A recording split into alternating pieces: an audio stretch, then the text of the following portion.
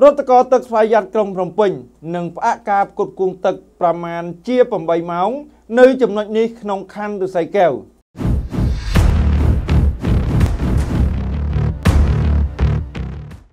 យោងតាមការចុះផ្សាយរបស់នាយកដ្ឋានព័ត៌មាននៅថ្ងៃទី3ខែមីនាឆ្នាំ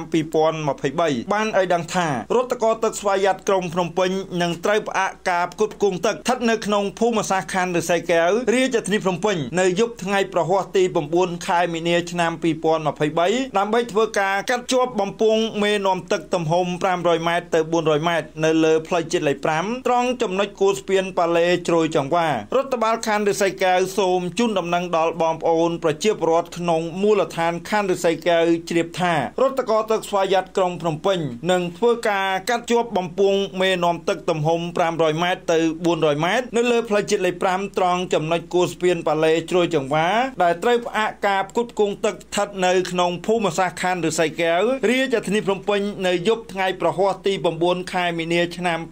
2023ការកាត់ជាប់បំពង់មេនាំទឹកទំហំ500ម៉ែត្រទៅ400ម៉ែត្រខាងលើតម្រូវឲ្យរដ្ឋកោទឹកស្វយ័តក្រុងភ្នំពេញផ្អាកការផ្គត់ផ្គង់ទឹកប្រមាណជាង8ម៉ោងចាប់ពីម៉ោង20:00នាទីយប់ដល់ម៉ោង4:00នាទីទៀបភ្លឺនឹងអាចធ្វើឲ្យគុណភាពទឹកមានភាពល្អកកបន្តិចបន្តួចក្រោយពេលធ្វើការកាត់ភ្ជាប់បំពង់មេនាំទឹករួច